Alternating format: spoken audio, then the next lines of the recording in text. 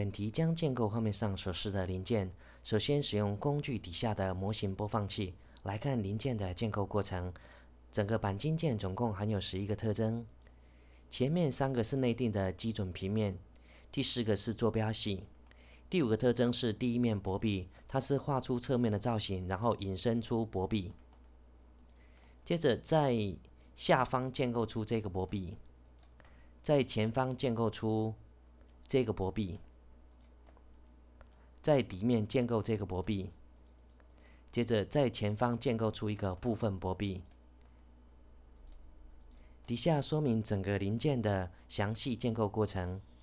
建立新的钣金件，输入档案名称 box-ch1，按 OK。点选这个图示来建立隐身壁，按档接受内定的属性选项单侧成长。点选基准平面 Front 为草绘平面，按 OK 以接受内定的视角方向，再按 Default。零件转为前视图，让基准平面不要显示在画面上。画两条直线，做导圆角，修改尺寸的数值。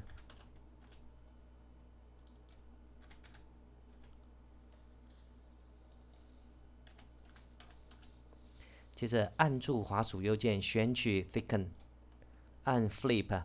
以使线条往内部长出钣金，按 OK，厚度输入一点二，接着再标示内径，将外径删除掉，按勾选的记号，按档输入深度尺寸为一百，按 OK，将钣金件转为 3D 视角，按一下滑鼠左键就完成了隐身薄壁的建构。接着我们点选。右下角的这个边，以这个边当做附着边来建构平坦壁，将平坦壁的正面造型由内定的 rectangle 矩形改为使用者定义。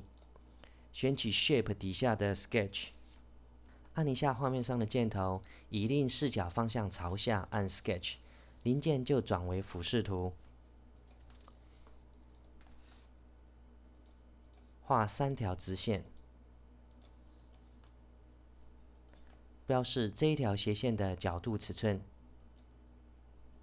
将角度尺寸修改为四十五度，将这一条线的长度尺寸改为十七点五。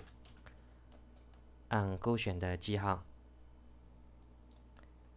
接着在画面上，我们将钣金件的厚度修改为一。按勾选的记号。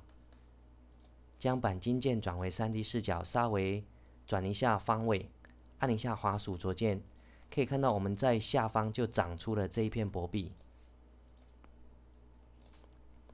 接着，我们再次利用平坦的方式来建构额外薄壁。首先，将这个区域放大，点选白色边为薄壁的附着边，按建构平坦壁的图示，将 Rectangle 修改为 User Define。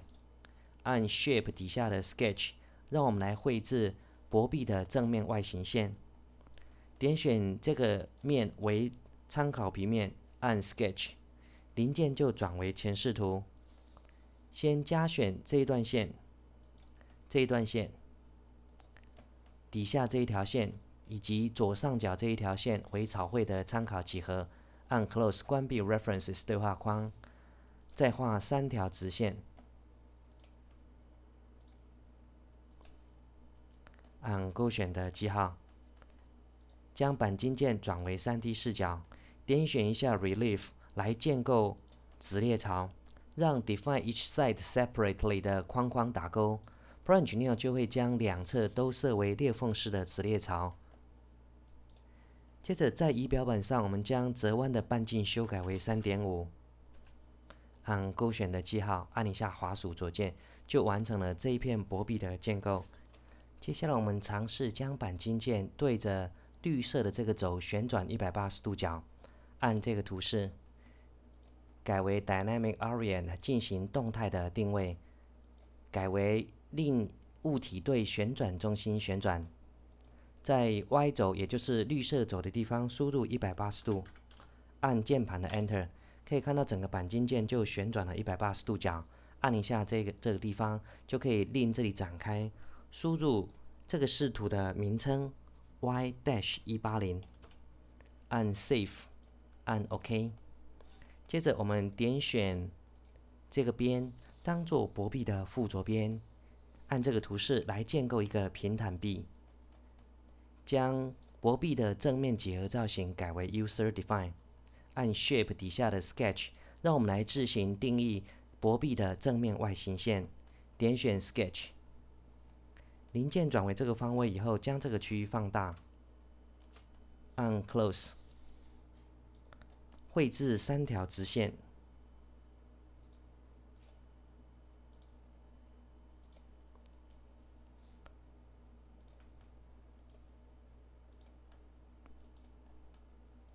标示这一条斜线的角度尺寸，